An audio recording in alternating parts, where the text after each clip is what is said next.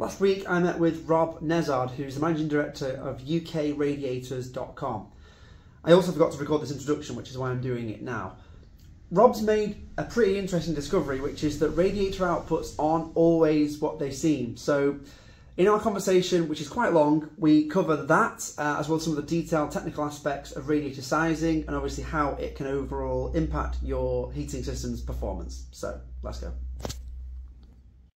Hello, Rob. Ethan, how you doing? Good to see you, mate. Thanks yeah, for coming on. You too.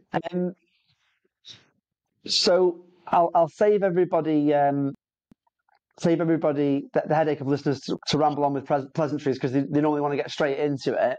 Mm-hmm. Um, obviously, on LinkedIn, I've seen you're you're kind of fighting a good fight with regards to to, to radiator output. So, um, can you just give us a bit of bit of background on that? Yeah, absolutely, mate. Um, did you say where, where did you say it's in LinkedIn? Primarily, it's the YouTube video that um, that that kind of started it all off. So we've got a video on YouTube that we made at the beginning of the year, or we pu- we published at the beginning of the year, tail end of last year. We made it, um, where we we we made into like a mini documentary, um, about seven minutes long, that shows how um, tons of distributors and retailers are overstating the heat outputs of the radiators that they sell. Um, so I've been in the industry a long time. Like I've known it's been happening for a long time. It's um, you know the, the, the various bodies in the industry um, know that it's happening um, it, because it's kind of obvious when you when you when you know what you're looking for. From the consumer perspective, it's really hard to tell. But from you know when you're in the industry, you know you look at a radiator, you you've tested all of your radiators, you know what heat output a radiator is going to be able to have based on certain properties. Um, and then if you've got other players in the market that are selling similar products, but with just mysteriously much higher heat outputs than than, than what a, a radiator can produce based on test results, it, it's glaringly obvious that it's not real. You know, it's overstated. Um, so we kind of got to a point where we just thought, you know, at, somebody needs to do more than what's being done. I'm not going to say no one's ever done anything because people have tried um, to to kind of get something done about this, but you know, at the at the, at the point that we got to last year, we just looked at it and thought content's the way forward right? The way to raise awareness around this is just is make some content and put it out there and see if we can build some traction with it. So that's what we did. How, how did you sort of find out? I mean how what, what what sort of led you to unearth it? Yeah, so like like I said, it's like it's obvious when you know what you're looking at.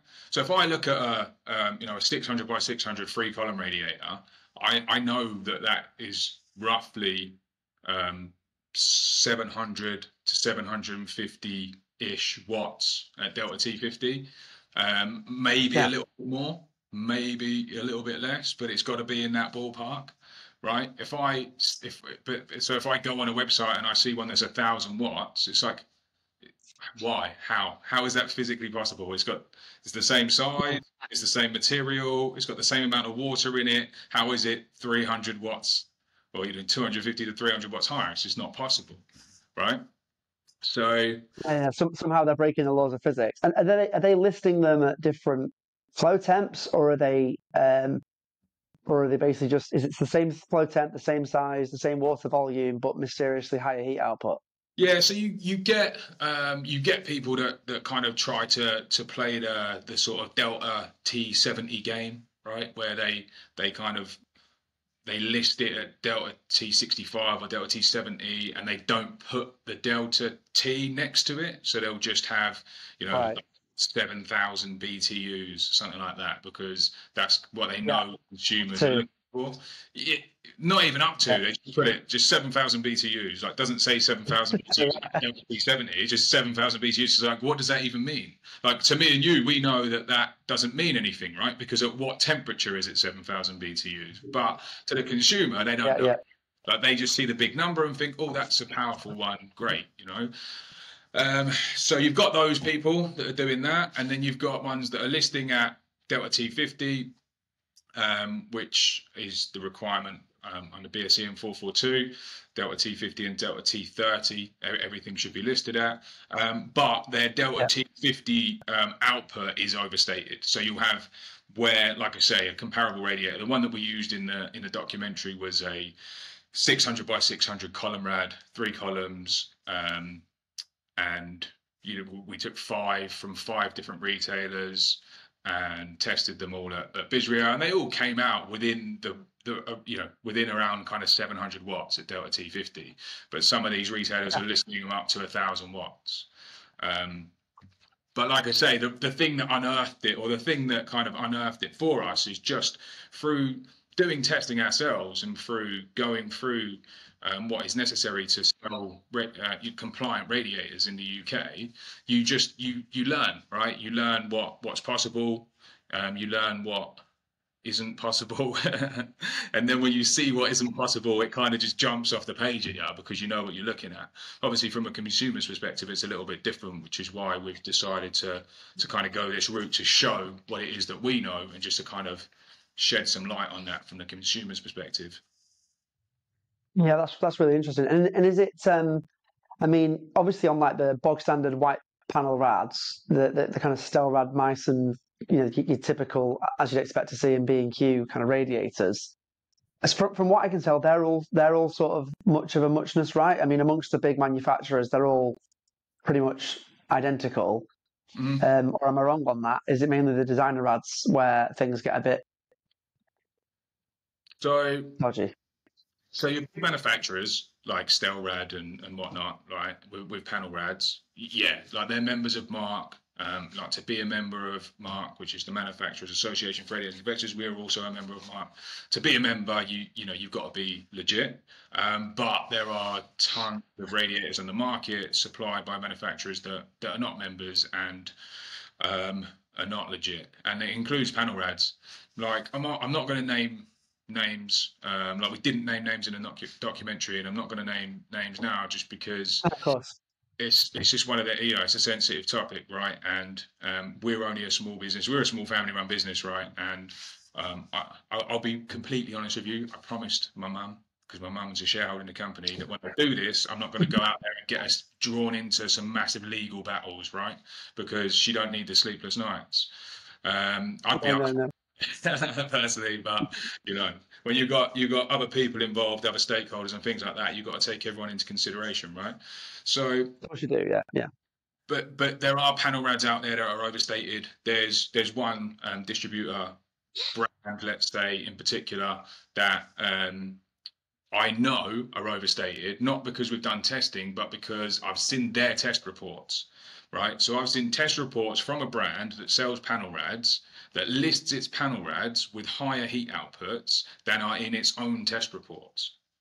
Right, I've seen this from factories as well. So we were going to launch our own range of panel rads, right? So we were working with, talking to factories in in Turkey primarily, looking at launching our own range of panel rads.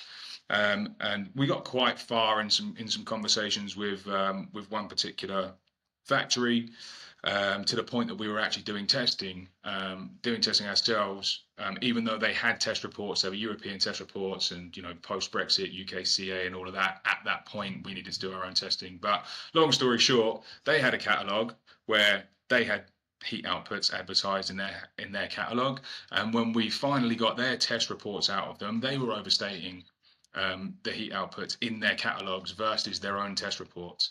So this is a problem that happens like throughout the supply chain at various levels throughout the supply chain, and yeah, it's uh, it's panel rads as well as designer rads. Um, there are reputable brands out there, of course. Um, you know, we're a reputable brand. There are reputable other reputable brands. I'm not saying we're the only one, um, but yeah, you know what you're looking for, right? And you gotta you gotta be aware of that.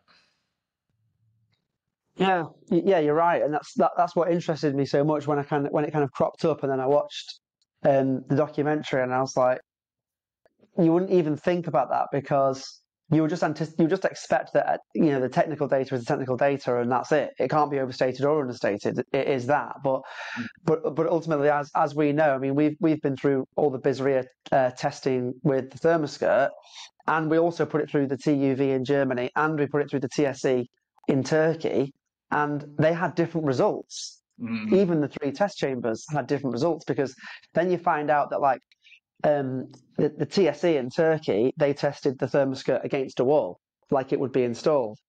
But the BSRIA has to taste, has to test the ThermaSkirt like a radiator. So to do that, they hang the radiator in an open space, Yeah. and they, then they hung a, a four meter section of thermostat in an open space. But that is going to change the performance. You know, really, it should be installed how it would be installed if it's going to be next to a window or it's going to be, um, you know, on the floor, or and if it's underfloor heating, it should be under a carpet. You know, Mm. like with, with underfloor heating, they have a we we see all the time with underfloor heating. It says up to 100 watts a square meter. Right. You think, well, with what? With with tiles Mm. in concrete running at 50 degrees, not running at 40. You know, under a carpet. Mm. So, um, for us, there's always c- consumers don't want that. Consumers just want a straight answer. Yeah, they want clarity. Clarity. It's like it's, correct. It's like how many calories is in this Mars bar? Yeah, know, the, the problem is, is that the, si- the size of the Mars bar keeps changing. yeah, yeah, yeah, for sure. Just out of Yeah. interest, your so the testing that you did, um, so you said like so you had done testing in Germany and testing in the UK. What came out higher?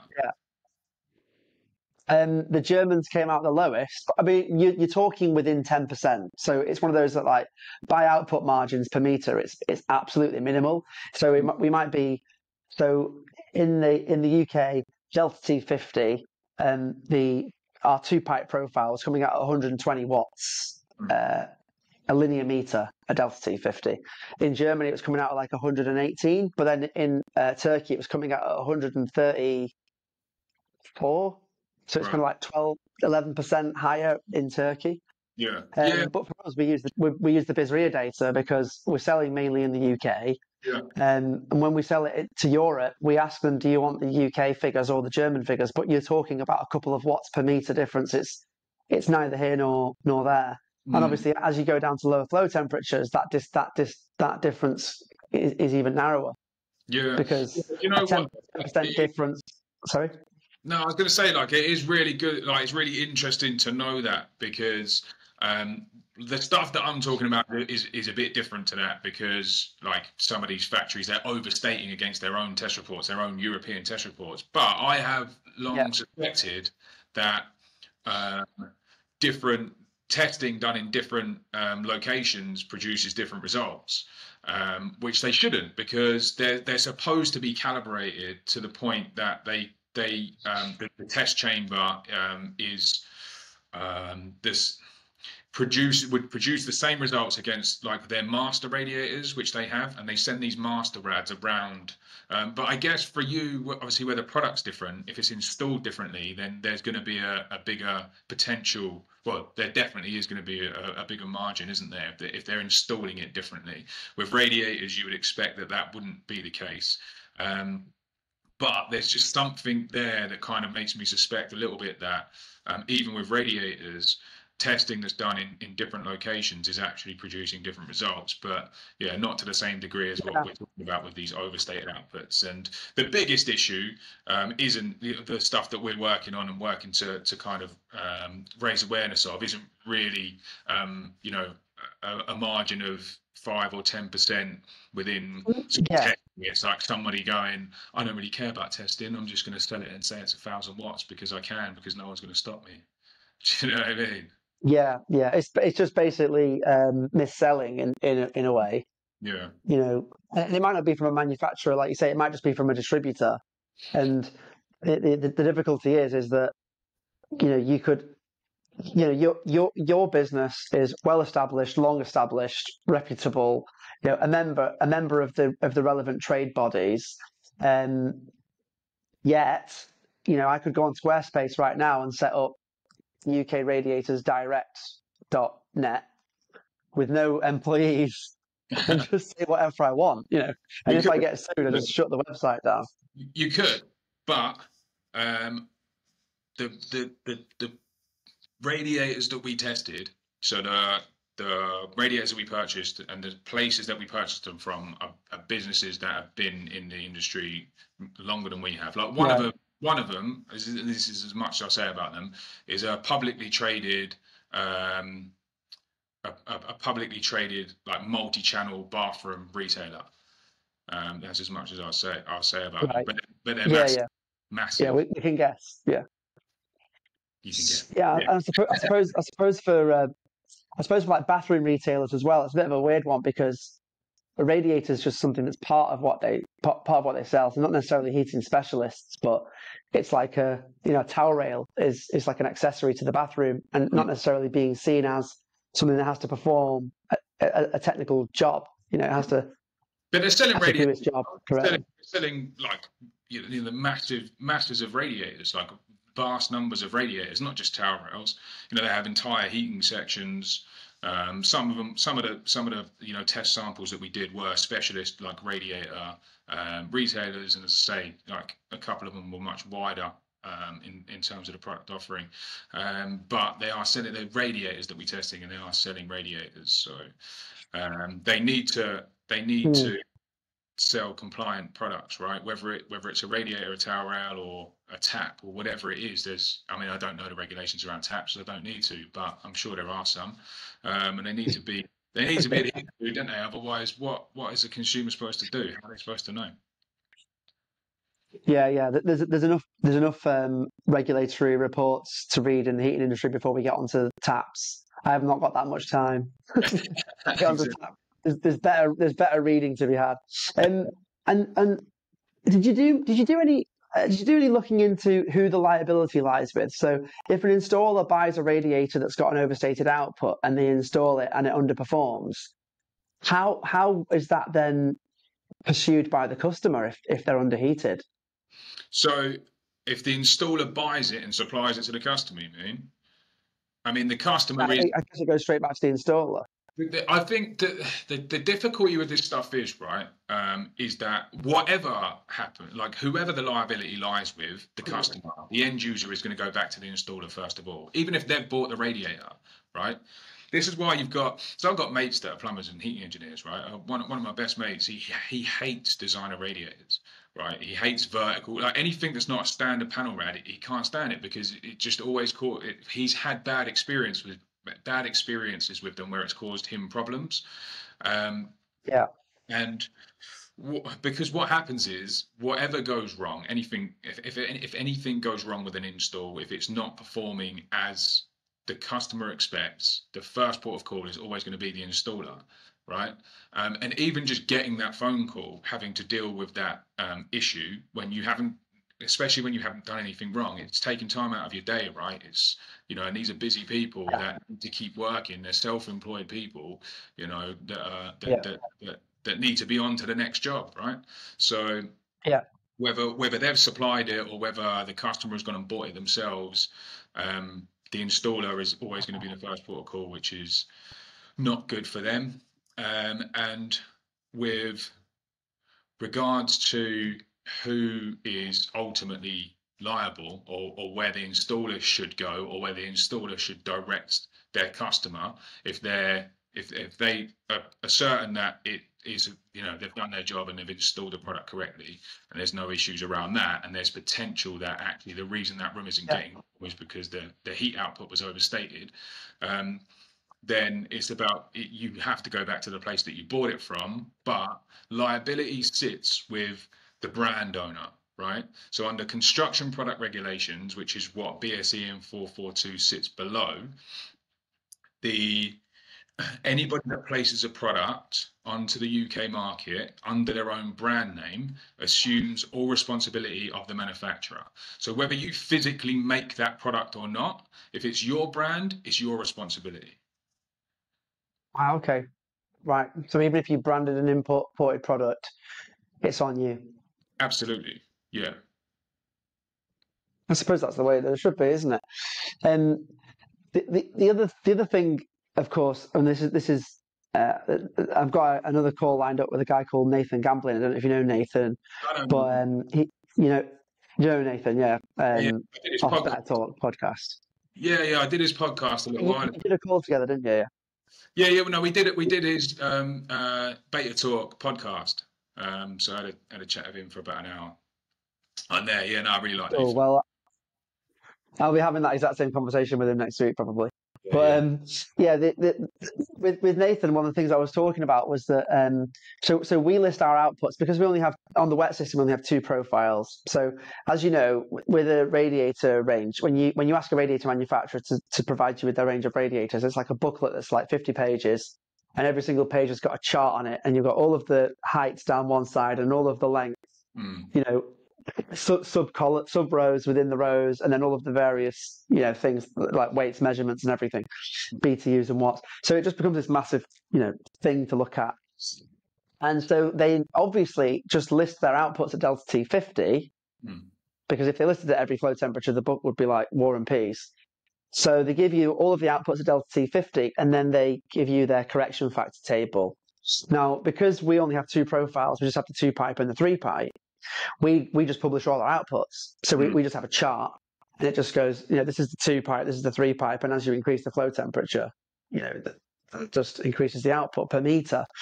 Um, and obviously, because it's a per meter rate, per meter uh, output, it doesn't really matter. As you increase the number of meters in a room, you get more output. So you might just do two walls and hit the heat loads, or you might need to do three walls and hit the heat loads, or you might need to do four walls.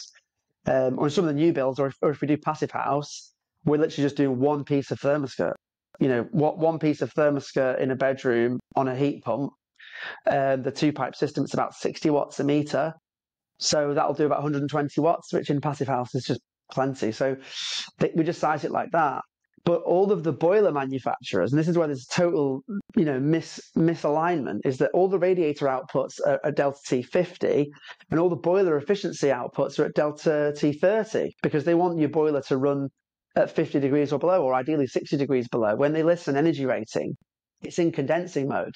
Mm-hmm. You know, it's like it's like your it's like your Volkswagen Golf. You know, it does yes, it does 60 miles per gallon when you're on a motorway doing 48 miles an hour behind a lorry. Yeah, yeah, yeah. No, I'm with you on that. Um, I, BSEN 442 actually requires you to list um, Delta T50 and Delta T30. Um, that is a requirement under BSEN 442. So if you see a radiator supplier not in their catalog, whether it's on a website, electronic, like a physical catalog, if they're not listing at least Delta T50 and Delta T30, that in, in and of itself is non-compliant right? So that is a requirement. It's also a requirement for the CE label or the UKCA label that goes onto the product and on the declaration of performance to include Delta T50 and Delta T30. So that is a requirement. So anyone that's not doing that should be doing that. Um, as well as that, um, we like we list Delta T50, Delta T40, and Delta T30 on our website just to make that comparison easier. Obviously, with it being a, um, a website and it being radiators and there being so many products and so many different um, product attributes that we need to list as well, um, we haven't gone any further than that at this point. I, I, do like what you guys do, though. I think that it, it's, it's really helpful um, for the consumer to understand that a product can output an emitter, let's say, can output um, different outputs at different temperatures, and just showing it like on a table or on a graph um, kind of makes gives gives that visual representation, which makes it kind of easier to understand. Um, because uh, what we get a lot of the time with, with our customers is is that kind of difficulty in understanding of like, you know, what is delta T this, delta T that, like what are you talking about? Do you know what I mean? Because it's just it's just so much information. Like they get to the point of understanding of BTUs, right? They're like, right, BTUs, I've got it, I understand now. I need BTUs because at the beginning of their journey, sometimes they don't even know that. They just think a radiator is a radiator and that's it. Yeah right? And so yeah. going along that journey and, and discovering actually, okay, well, I need to understand heat output, I need to understand BTUs, I need to understand what, so I then need to understand, you know, and they get to a point and it's like a, a lot of information. Um, so like I say, yeah, what you guys do, I do, I, I do really like that. I think that's uh, a smart way of going yeah. about it. It's, it, I mean, it's easy for us to do because, because, like I say, we've just got the two, the two profiles. Um, so I do, you know, I do get it. One, one of the things that we, one of the tra- challenges we have, and, particularly now that people are designing to lower flow temperatures, is that the customer gets given like a radiator schedule. So often when they get like their first heat pump survey done, the engineer comes out, they do like a, a whole house heat loss, and then they basically give them the radiator sizes. But normally on that on that chart, they have the radiator sizes. So it may say, for example, like we, we had one yesterday, which was bedroom one, um, Stelrad K2 um, was it yeah 600 by 1200 so it's a two kilowatt radiator. That is you know 2.1 kilowatt radiator. Um, so the customer comes to us and they're, obviously looking for an alternative because they don't want the, the k2 radiators. Um, and they said we need 2.1 kilowatts of ThermaSkirt. Right right.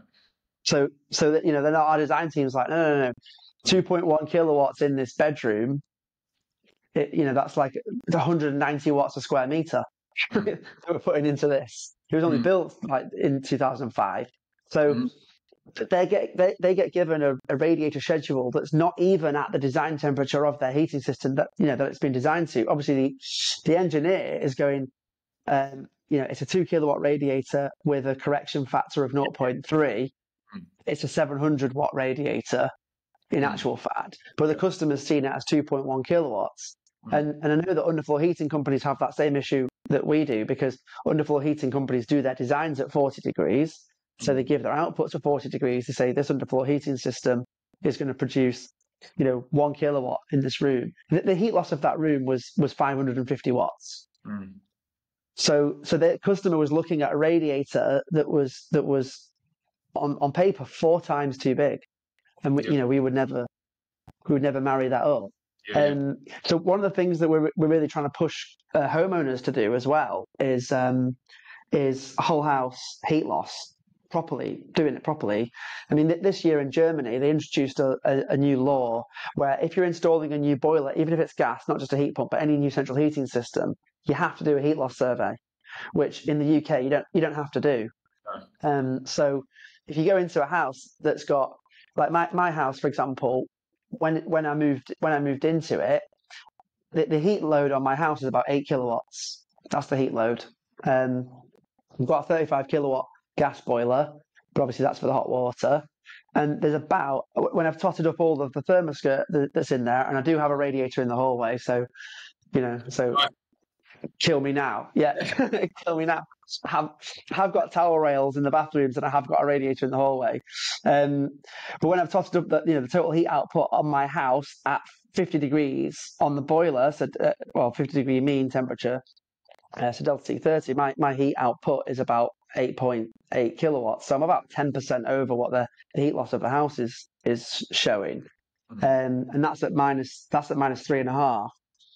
Where was I going with that? Oh yeah, um, when I moved in, I had about 25 kilowatts worth of radiators in there Right. because some of them were put in in the 1970s when the house had single glazing. There was no loft insulation.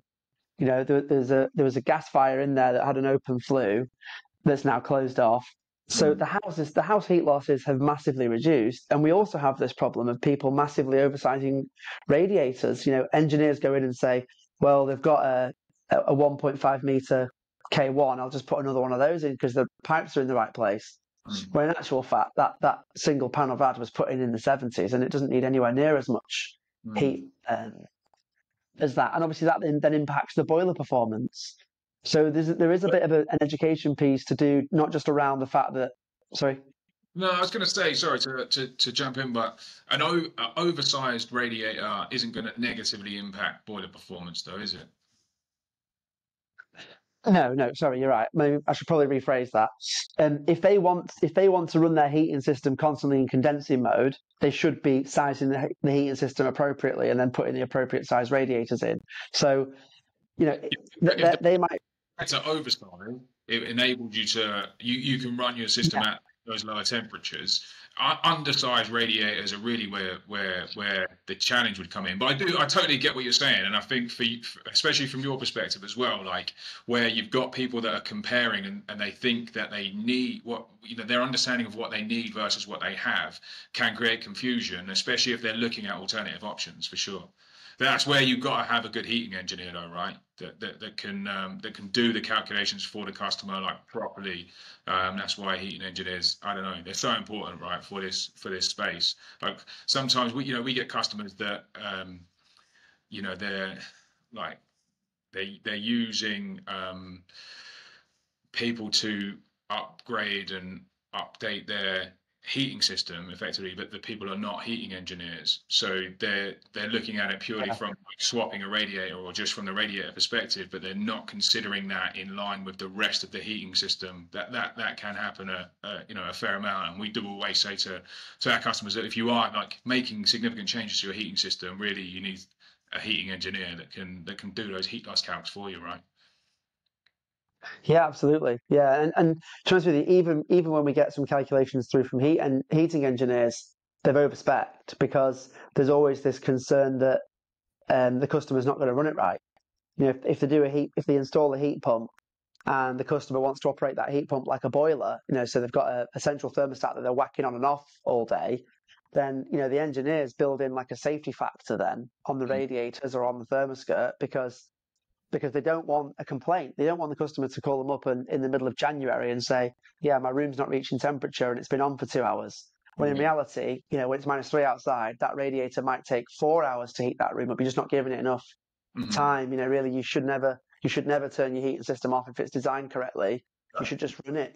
Yeah, for um, a heating system, right? The, yeah, the, the analogy we use the analogy we use for um, domestic customers to explain that is that it that I mean it's the usual one it's a fridge in reverse but we kind of say like your house is like a fridge inside out. So a fridge it's warm on the outside cold on the on the inside and, and it's effectively treating your house like an inverse fridge. It's cold on the outside and warm in the middle. Well the difference is it's like with your actual fridge if you if you fill it with warm beers it makes everything else in the fridge warmer.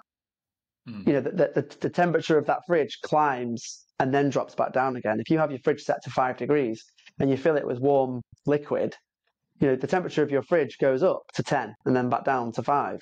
And that's what happens when you open windows and open doors. Yeah. And and likewise, you know, if your fridge, if you're um, if if you're turning your fridge on and off all day, the compressor is going to break. Yeah, no, that's a really that's a really good analogy because no one's turning their fridge off, are they? Correct. You, you, don't you don't leave work and then call home and say, right, it's Friday night. You know, I, I want a beer. Turn the fridge on, love, because it's on. You know, it's cold. It's ready for you. So you, you know you've got weather compensation on the heat pump. As the outside temperature drops, the the heat pump compensates for that, and it just does this slowly, slowly, seasonally. Mm. Um, you know, you should rarely get caught out. It's a it's a major challenge, and in a few, in a few weeks, it might actually be next week. The the the report the report data from Energy House Two is coming out, and that's really interesting because they've got the houses in a, a set climate chamber, which is set at minus five. They're testing underfloor heating. They tested under they tested radiators. They tested the thermostat, and in that test, I mean, I'm not revealing not revealing too much on this because this this is probably probably going to go out after the report's been published, but. Um, when when you turn a heat pump on and off like you would with a boiler, whether it's underfloor or radiators or thermostat, the the performance is atrocious.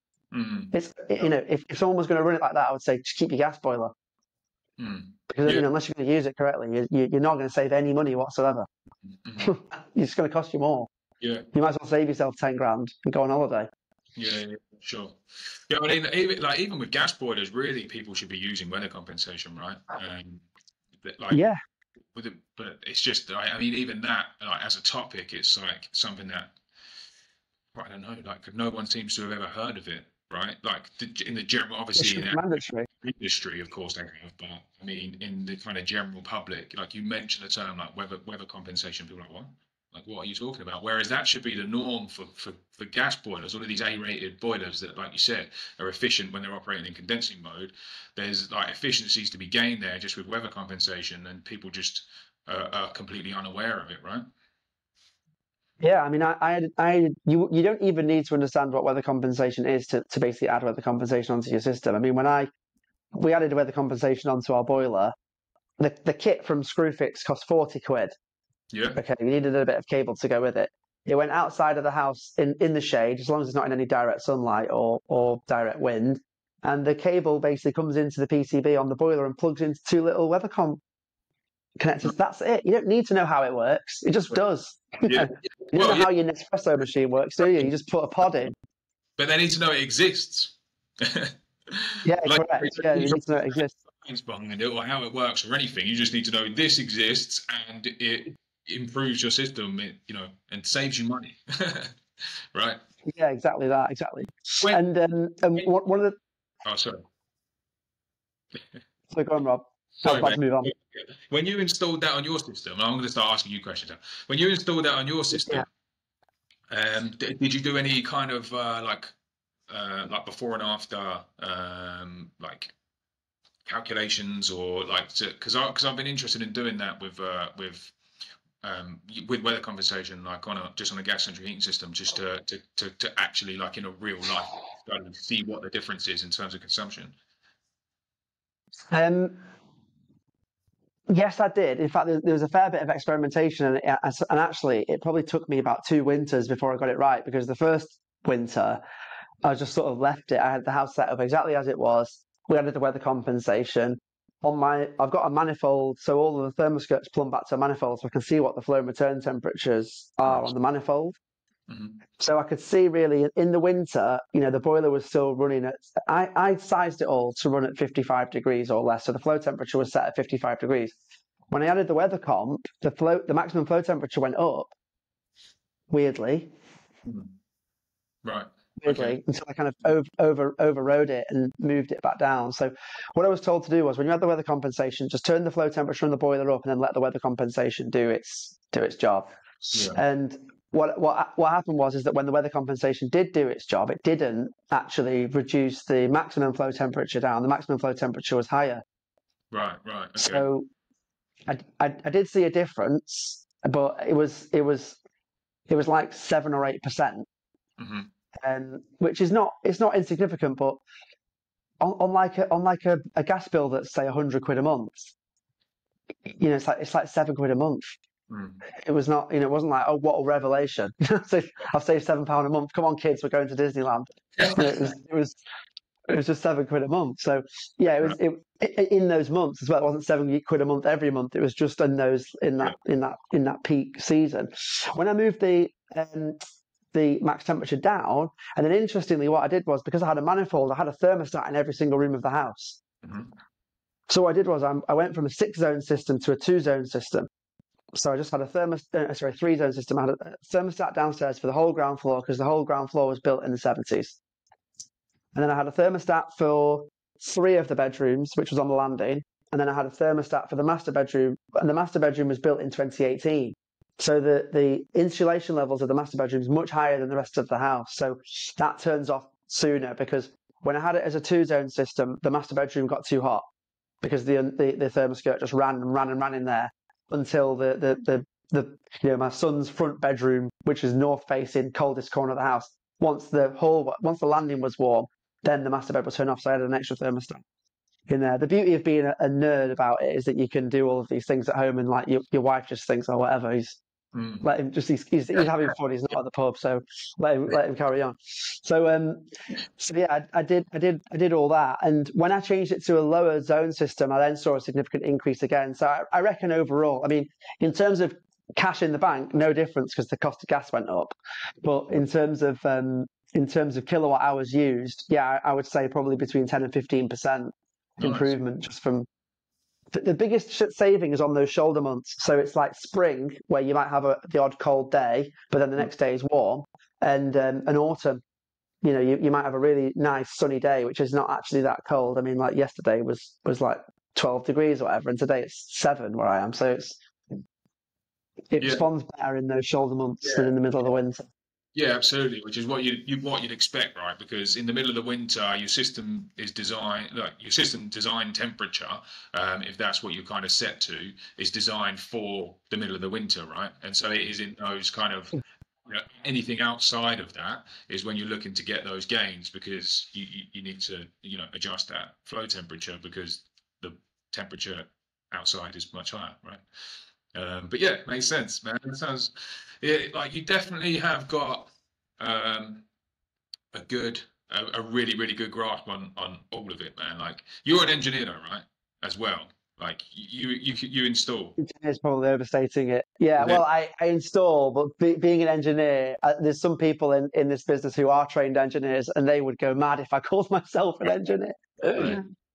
Yeah, I mean, I, I, suppose as far as the as far as thermostat goes, you know, I'm 32 now, and mm. I've lived and breathed this product since I was about 15. So, so yeah, I just I just I just know it like secondhand smoke. Basically, I've just been around it. Yeah. My, for my whole life, so I, I, I only know it um, through that. And then and then one of the one of the really interesting challenges that we're solving now, because as most people hopefully who are watching this can tell, you know, I wouldn't be. A lot of our marketing is like saying no to radiators and stuff, which I know has, has often brought a smile to your face. Um, I, I, like the marketing, man. That's what actually kind of um, drew me to you guys in the first place. Apart from the fact that your dad was on Dragon's Den, and I am like actually a yeah. big. I, I, don't know if you guys like Dragon's Den or not, because obviously they didn't give you the investment and whatnot. But I've always been a big Dragon's Den fan. Like I'm just a, a business guy. I like all kinds of business, right? Um, and I yeah. like, I really like your business, man. I just like what you guys do, and I think your marketing's funny. Like I like it. It's cool. Yeah, I like that. I like that. Well, d- d- despite our marketing, we aren't actually like radiator enemies. Like we under- we understand that there's there's space in the market for everything.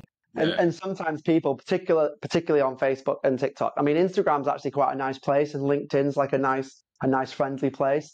But but Facebook is like Facebook's like being like out in the streets and then like TikTok is like being in a nightclub at two o'clock in the morning.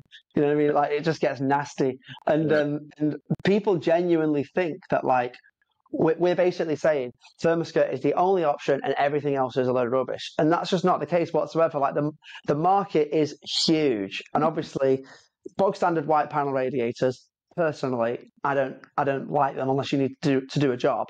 But they're always going to exist. They're always going to be the cheapest way to heat your house from a capital expenditure point of view. You know, they they serve a, a purpose in the market. And then you have this ginormous designer radiator market where, you know, like like fashion, the world is your oyster. You can pay you can pay 100 quid for a designer radiator, or you can pay 10 grand for a designer radiator if you want. Like there's a, there's just this massive, massive spectrum. And we're, we're somewhere in that designer radiator, um, spectrum, I guess. But, but we, we sort of market ourselves as like a designer radiator that suits all tastes. Like, you know, we're not, we're not like a, an orange, like, you know, that orange hexagonal radiator, whatever. Like somebody buys that because they like that look, but the next person goes, oh my God, what, what on earth? Whereas yeah. for us, that's that's kind of our pitch. So we're effectively like a designer radiator that's that feels like underfloor heating. And I think I think for us with with the heating engineers, that's been the challenge to overcome, which is like, look, we know you love radiators. Don't worry, we're not here to take your toys off you. You know, if you want to keep your toys, you can have your toys. We're just saying there's like another game you can play over here if you want to, you know, yeah. or if your customers want to. Like it's there, there's an option. And now, and we're seeing the heat pump guys go first because the heat pump guys are the ones going into people's homes and saying, "Okay, you need a K3 in here." And particularly in kitchen dining rooms, now that you've got these big open plan living spaces, if it's a, if it's an older property with very poor levels of insulation, underfloor heating can't hit it on its own the ThermaSkirt can't hit it on its own if, if you design into really low temperatures. So, I mean, some, some of the engineers that we work with design to like 35 flow temperature and, and they mm. refuse to go higher because they're obsessed with COP. Whatever. Mm. They, they want to play, they want to play the COP game on heat pumps, then fine, whatever. Enjoy. But that means that the, the emitter challenge is massive. The lower you go on the, the, the lower you go on the flow temperature, the bigger the challenge with your emitters it becomes. And if they were going to heat it with radiators, they would have like a K3 over here and a K3 over there and then another one, and it would just look ridiculous. Yeah. So what we're finding is is that a lot of those customers who don't want a bog standard white panel rad on the wall then get trapped. Like they're generally the customers who've got the money for a heat pump. So mm-hmm. there's, there's like this contradiction here that customers with money for a heat pump are also the customers who don't like the look of bog standard panel radiators. They want something a, a bit nicer. Mm. Um, so they tend to go for underfloor or ThermaSkirt or designer rads. And at 35 degrees, there's very few designer radiators out there that, that can provide the heat output necessary. So those super flow, low flow temp guys, what they're doing is they're kind of hitting most of the heat outputs with the ThermaSkirt and then using a designer radiator to supplement it which the customer could turn on and off. They could, they could turn it off in the spring if they wanted to, just have it on in the winter. And I guess that's where there is a bit of synergy between what we do and what you do, and other distributors as, as well.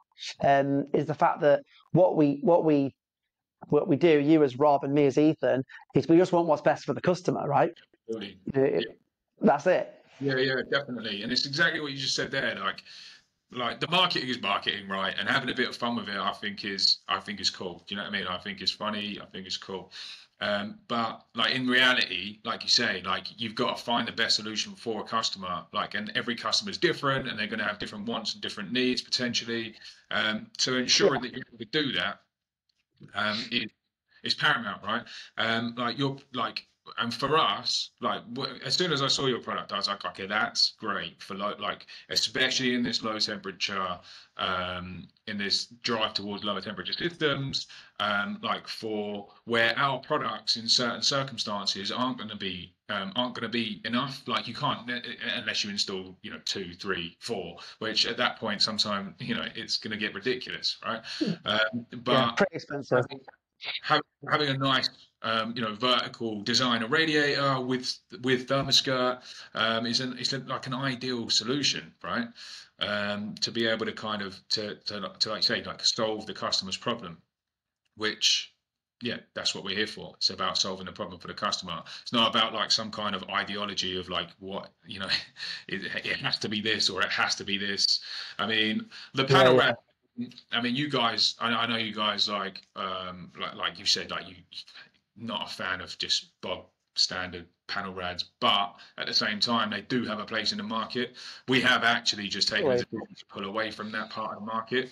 Now we have sold panel rads right. up now, but um, as we continue to grow and as we continue to grow what we're doing with with designer ads and with with column ads and we want to introduce a lot more different designs and, and options to the market um, you know we have limitations like any business like space is a real limitation for us and so um, yeah. you know, taking that decision to completely pull back from that part of the market and just really again focus in on um, like what we're best at which is you know column rads and designer rads um, like mass market appeal column rads and designer rads as opposed to the kind of um, you know hexagon beehive um, crazy yeah yeah.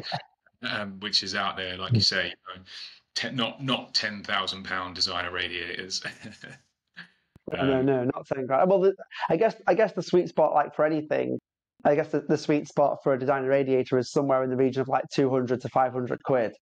That's mm. going to be that's going to be where the mass bulk is because there's only so far someone's willing to go to spend money on, uh, you know, a radiator. At the end of the day, it's not it's not mm. it's not a status symbol like a Rolex or a or a or a Porsche, is it? Nobody walks in and goes, "Oh wow, they Italian designer radiators." They just go, oh, "Okay, you've you know not got white panel lads."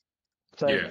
with the sweet yeah. spot, we find that the same with the ThermaSkirt. There's, there's some properties we look at and we go, this is going to be crazy expensive.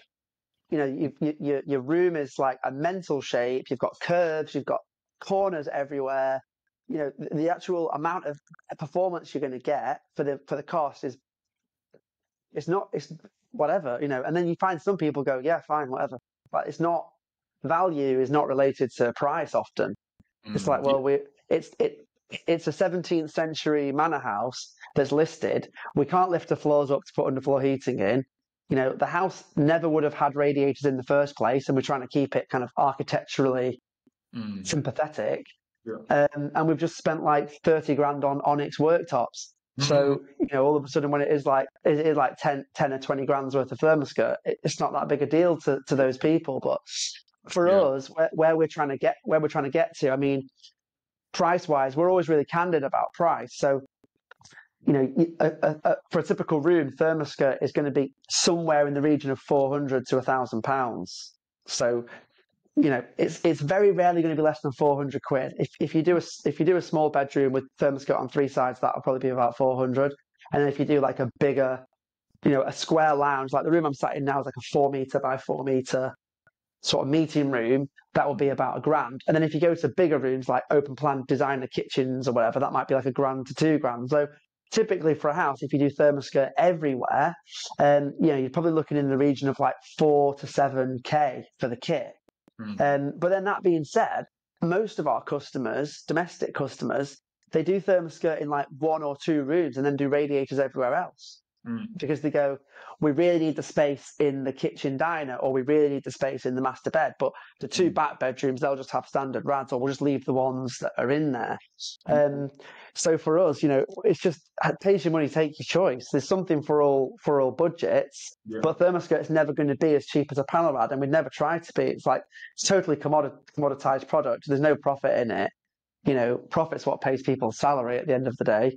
Um, so you know, I'm not I'm not interested in like chasing my tail trying to compete with with radiators. You know, No, not with no, especially yeah, especially not panel rads. I mean, it's a it is an amazing alternative to underfloor heating as well, um, because like you say, like Yeah. so you know, un, un- and I think underfloor is a good solution. I mean, we don't Same. it. Like we don't sell underfloor heating. My brother's got underfloor. He, he did an, uh, quite a big extension on his house, and he put he put underfloor um, in the extension.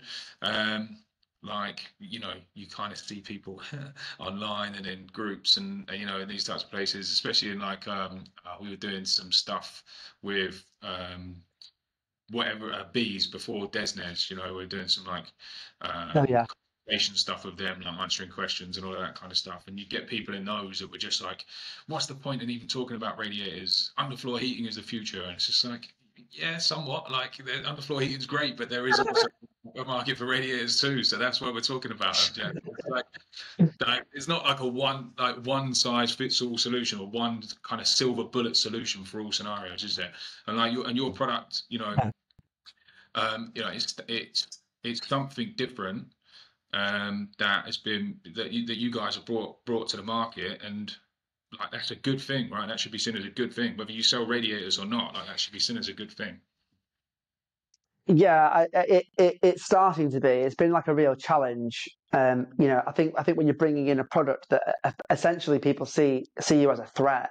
So if they see you as a threat, they they they then just immediately either like discount the idea or they they they kind of try to sort of dispel it or like create myths about it. And we hear crazy crazy stories like this will never produce enough heat. You know, but it either does or it doesn't. Like your opinion has nothing to do whether it creates enough heat or not. It depends on the circumstance, what the outside temperature is, what the flow temperature is like.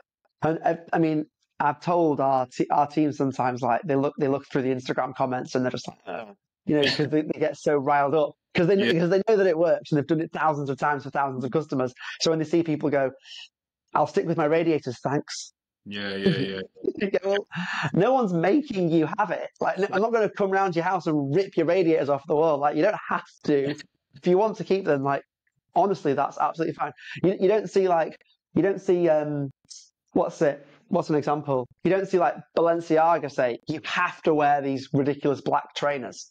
No. like, if if you want to wear Converse, no one's going to take your Converse off you. You know what I mean? It's just another option. So Yeah, for us, option. it's like we, we we kind of say to ourselves, look, we, what we want to be is like the BMW of of, of heating. So you know, we're not the we're not the cheapest. If you want the cheapest, you know, don't buy it. Don't buy a BM. Okay, Mm. we're also not the most expensive. Mm. Okay, we're we're, we're reliable. Um, Mm. We're honest. We're straightforward. Like you get what you pay for, and Mm. and that's it. So I'm just trying to like align ourselves with with BMW, and you you, you just be confident in, you, in yourself. Like we're confident in the product. I've Yeah. I've personally installed hundreds of systems. Everybody who works for us gets ThermaSkirt in the house for free. Like we just we just fitted like six grams worth of ThermaSkirt in Tom's house, um, and you know Tom's got a crazy life. He's renovating a house. He's got four kids. Like he's under the cosh, and we're like, we're, we'll put ThermaSkirt right the way through your house. And the reason for that is because then the people who work for us live with it. Mm. Their, their confidence in the product is just extreme because they go, well, we just we just went through last winter with it, and it's brilliant. So when anybody then kind of like dismisses it, they're just they're speaking from a first-hand account. You know, my house is 1960s, and it works just fine. So there's no reason why it won't work for you. No, Um, so to, sort- to sort of wrap wrap up, Rob, um, what's the next step then in this in this battle to get radiator outputs Mm. accurate, and and how can we help? When when it's going out? Do you reckon? This this will be going out probably uh, first week in November, second week in November, All right. a week or two. Okay, a week or two. Yeah. So so Tuesday next week. So Tuesday the first first of November. I think it. uh, No, it's not the first. Tuesday Uh, the fifth, yeah. Tuesday next week. Um, Yes, we've, yeah. got, we've got a meeting with so I'm going to tell I'll tell you this now because this will go out after that meeting. But with MARC, um, the Manufacturers Association, we have a um, there's a meeting. It's a monthly meeting that they do, but the OPSS are joining that meeting. Um, so that that's the next step. Really, is to really get their feedback and see what see what they have to say. Um, so the kind of the last bit of sort of progress that we had was that we sent them we sent the OPSS um, which is the Office for Product Safety and Standards. So, so they they have responsibility for upholding the regulations. Um, we sent them all of the test reports from the from the video that we made. They they got in contact and they asked for us to send them test report and to send them like uh, like all of our proof of purchases and basically everything that we've documented throughout that documentary. Um, so we sent that to them um, and we heard just like I mean we heard a couple of months ago that they were investigating and they were going to take things forward um, and then I heard last week that they're going to be joining this meeting um, to give us a, an update on what their findings are and what they believe the next step should be um, so that's going to be really interesting um, that's a it's a it's quite a big step forwards and yeah can be cool Exciting. All right. Well, just want to say thanks very much. Thanks for for, for joining me. And um, if anybody who's watching who is a domestic customer and you want a designer radiator or a towel rail to go with your ThermaSkirt system, please go to UK Radiators. yeah definitely ukradiators.com There you you go. Search UK Nice one. it comes up with our ad and then you have to click the ad and we have to pay for it. So ukradiators.com. It cost, it cost you 50p then, doesn't it? Yeah. I just want to say before I let you go, like I do really love your business, man. I really love what you guys are doing. Obviously made in the UK, right? It is. Yeah, Yeah. made in the UK, which is made, amazing. in, made in Corby, yeah. In fact, I'll show you. I'll show you this. This is the. This is uh, this is what we make it out of. So this is the aluminium billet. Yeah, So the, the the reason I have this in this room is because the ThermaSkirt that's in this room, there's about 13 meters of skirting in here, is made from this amount of aluminium. So that Yeah. that will this will heat a room. This this block here, Yeah. and this block is 75% recycled. So it actually comes from a recycling centre in North Wales, and then gets Right. extruded in um, in Corby. yeah. I see. I've, I've- I'm sure I've seen a reel like where you've got where you're doing something with one of those blocks. I can't remember exactly what it was. I'll have to go back and have another look. But that's another thing. Like made Probably this one, yeah. I that it was 75% re- recycled uh, material, so that's amazing. But like family business, right? It, patents on your product, you know, you've created something, you've brought it to market, and then you absolutely smash it with the social media. Like, I just like seeing you guys do well, man, because I just, I just like the business. I just wanted to say that. Well, that that that love's two directional, mate. Right, take it easy.